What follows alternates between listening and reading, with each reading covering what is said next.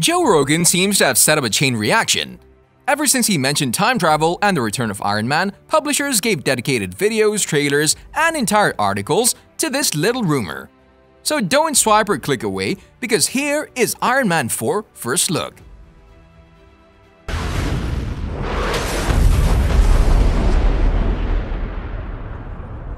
Ellen was the first one to ask RDJ about the possibility of a new movie.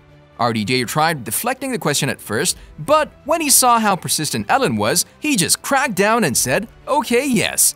After that Ellen interview, no one paid too much attention to RDJ and the possibility of a new Iron Man 4. After all, this was before Endgame, so we weren't too worried about RDJ making a fourth movie. Hit then it happened. Tony Stark died in the battle with Thanos. Everyone mourned his loss, and we realized that we won't be able to see him in superhero movies anymore.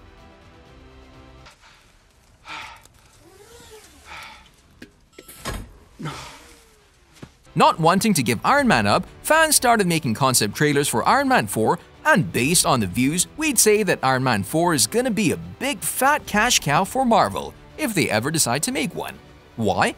Because 15 million people just can't be wrong about a movie. There was another one with 10 million views. Countless other mini trailers popped online and we felt the tension for a new movie building. But let's leave the concept trailers aside for a moment we talked about the Joe Rogan and RDJ interview that acted as the catalyst for this entire stream of events. So what happened there? As you may already know, Robert couldn't take it anymore. He was doing Iron Man since 2008. That's 11 years of being stuck with one character. Sitcoms don't last that long. So we don't blame him for getting tired of the character, even though it's Tony Stark. He wanted to branch out as an actor, and he felt like Marvel wasn't allowing him to do. Joe even talked about him smashing that like button just like you should do if you haven't done so already.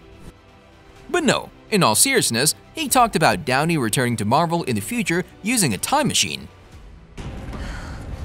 That's all you got? Cheap trick and a cheesy one-liner? Sweetheart? When we heard that, we were absolutely stunned. Not because it was a great idea, but because of what Robert said to that. The actor honestly thinks that we would hate him and feel a little annoyed that he's back at it again. Sir, you've underestimated our love for you. We would slap you with a glove if we had one. Anyways, back to the interview. All of this being said, we'll say that Tony Stark had the best send-off of any superhero ever. No matter who it is, no movie has ever paid proper homage to the actor to the lead they just killed off. But Tony was different. If nothing else ever changes and everything remains just as it is, his memory will echo throughout the MCU as the greatest Avenger that gave his life for humanity. But things will change. First of all, we think that they'll change in a completely different way from what Rogan predicted. RDJ won't have to come back like his older self from an alternate universe to offer his wisdom to the new Avengers for defeating some major league bad guy.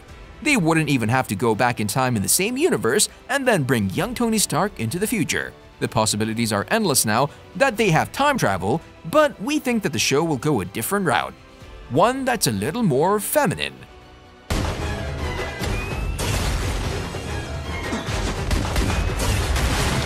The first prediction we have is this. We think that Morgan Stark will take on the mantle from her father and she'll try to fill in her dad's shoes. Here's why. First of all, the idea is already proven. The most popular concept trailer among them was the one that included Katherine Langford as Morgan Stark. If you haven't heard already, we're here to tell you that Morgan Stark was actually cast in Avengers Endgame.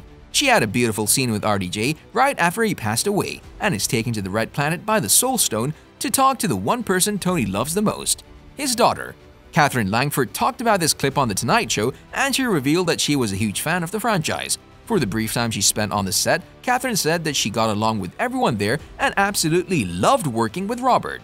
However, she was forbidden from talking about it before the movie aired, because, you know, legally binding contracts aren't something to take lightly. The clip was shown during a promo for the movie, and only then did she feel comfortable speaking about it. This tells us two things about Katherine Langford. Number one, she's a professional. Number two, she'll do a damn good job playing Morgan Stark. With 13 Reasons Why, she more than proved she's a great actress. But then, after watching the clip and seeing how close she and Robert appeared on the screen, we can bet she'll do a good job.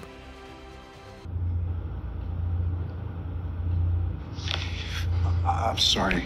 It's, uh... For starters, it'll give the Avengers movie a more feminine tone. If she doesn't take the role lightly and prepares accordingly, Langford is more than capable to play the part. We know that Pepper Potts has been taught by Tony Stark how to fight, so if this movie turns out to be Megan Stark's growing up, we would love to see mother and daughter training together.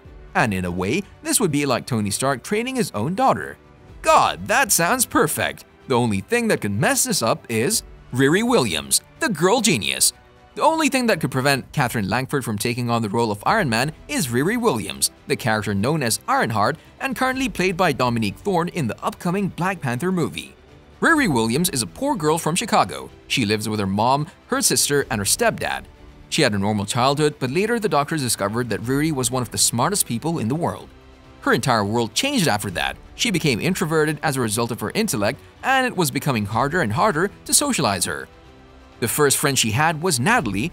She grew really close with Natalie, but one fateful day, while they were having a picnic, Riri's stepdad and Natalie were killed in a drive-by shooting when some of the stray bullets accidentally found their bodies. After this, Riri challenged herself to build her very own Iron Man suit. How was she gonna do this? Well, she took the Iron Man Armor Model 41 and she reverse engineered it to make it fit her body while keeping all of the useful functions Tony Stark developed. The only problem? She was secretly stealing metal and materials from MIT where she had a scholarship. Not wanting to be caught in the act, Riri put on the suit and flew away. Ever since that day, Riri Williams is considered Iron Man's heir.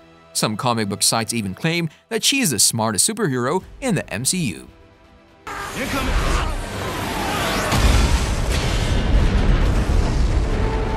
And based on current events, we think that Marvel likes Riri Williams better. How do we know? Well, first of all, they cast Dominique Thorne to play Riri Williams in Black Panther Wakanda Forever. She'll have her character debut in the movie, and that's not all. Dominique Thorne will also star in the Disney Plus show titled Ironheart. All this comes from Marvel Studios chief Kevin Feige. He revealed the information during an interview with comicbook.com. From this, we can safely assume that Iron Man 4, unlike what the trailers are suggesting, will probably not be about Morgan Stark taking on her father's mantle. It'll be about Riri Williams, the girl genius who built her own Iron Man suit when she was 13. Tony built his after getting locked up in a cave. So far, she has a head start on Tony.